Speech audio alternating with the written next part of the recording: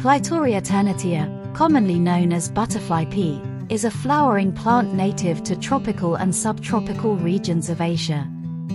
It belongs to the Fabaceae family, which is also known as the pea family. The plant is named after the unique shape of its blossoms, which resemble female genitalia. Here are some key features and uses of Clitoria ternatea. 1. Appearance. The butterfly pea plant is a vine that produces vibrant blue or purplish flowers. The petals are thin and delicate, and the plant typically has pinnate leaves. 2. Culinary uses. The flowers of Clitoria ternatea are used in various culinary applications. They are known for their natural blue pigment and are used to color food and beverages. In some cultures, butterfly pea flowers are used to make herbal teas, cocktails, and even traditional dishes. 3.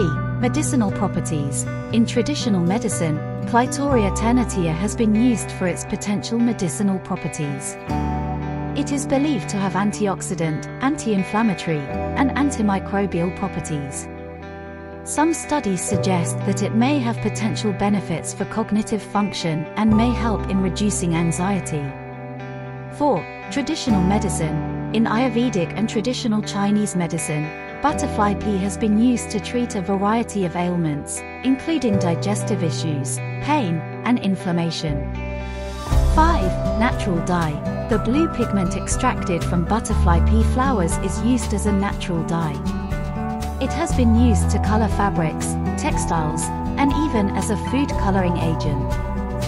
6. Nutritional content. Butterfly pea flowers contain various phytochemicals, including flavonoids, which are known for their antioxidant properties. 7. Ornamental plant. Besides its practical uses, Clitoria ternatea is also grown as an ornamental plant for its attractive flowers. 8. Adaptability.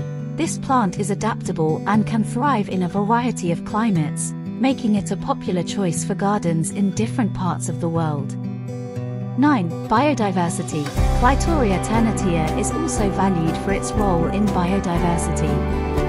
It attracts various pollinators, including butterflies, bees, and hummingbirds, which contribute to the ecosystem's health.